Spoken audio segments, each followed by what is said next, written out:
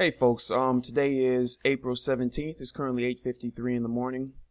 And I actually need to disconnect real quick and then reconnect.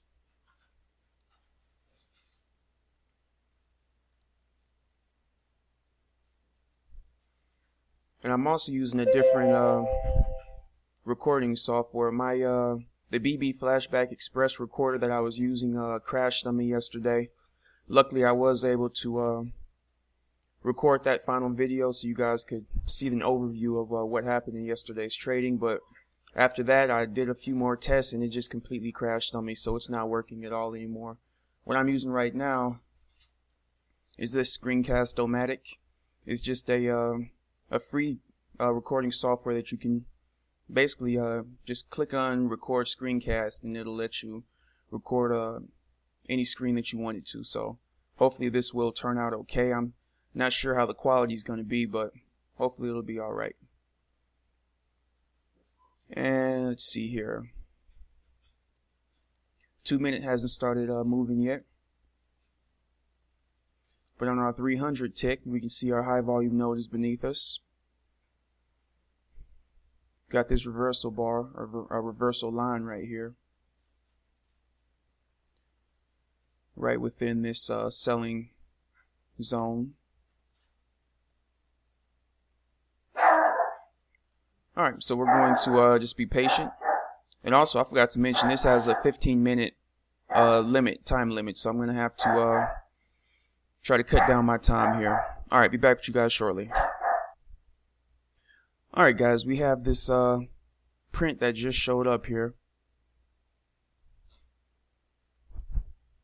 Let me see if this is a selling. Alright, so that's a buying uh, level. But we have the high volume node right above us.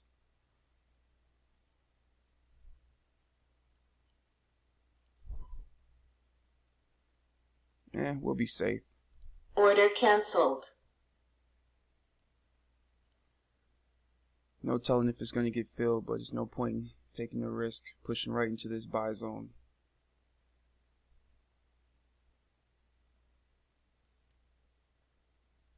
And it's starting to push up anyway. Alright, I'll be back on the next opportunity. Alright folks, I just wanted to come back real quick. We just got this print right here. But as you can see, we are right in the middle of this sell zone from way back here. And it is held for quite some time. It's been hit several times. And that's why we're not uh, taking this trade here. As you can see, we haven't really had any prints or very many opportunities to jump in. The vendor, he uh, jumped in at this level from the two minute chart. I don't really trade off the two minute chart, but as you can see, this uh, bar would not have come up enough to fill us on this uh, print. But he says he holds the high volume node prints for two or three bars and just the scalp trades for one bar. So that's uh, something new. I'm gonna hopefully next week start looking into that as well. Taking these uh, high volume node prints off of the two minute bar or the two minute charts, excuse me. But it's already uh, two o'clock. It is Friday. Market hasn't uh, it's been moving, but hasn't really given us a lot of opportunities to jump in. If you guys recall, this trade right here wouldn't have been filled. Market went sideways, so we wouldn't have got filled into this trade. This trade was directly into the high volume node, so I didn't take that. And we just had this print. And obviously, it's in a uh, pretty well established selling zone. So I'm not going to be uh, taking that trade either. So not a lot of opportunities.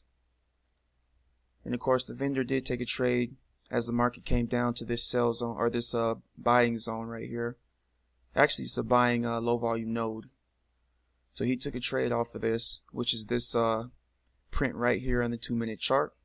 But like I said, I don't really have any experience taking these trades yet, so no such luck there for me. This has actually been a really short week.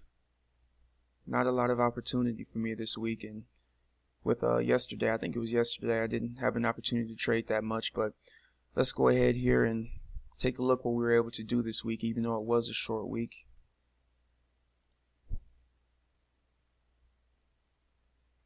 Uh, let me see here. Start the 13th to the 17th. Change this to currency. Make sure everything else is right. Generate. Alright, so this week we were able to make $450. Again, this was a extremely slow week for me. A lot of uh, things popped up that didn't allow me to trade for uh, a large portion of the week here. So hopefully next week I won't have as many issues. And also I'd like to see how this video uploads to YouTube. Hopefully the quality will be okay. Where you guys will be able to uh, actually see that that says 450 right here and things like that. But we'll see shortly.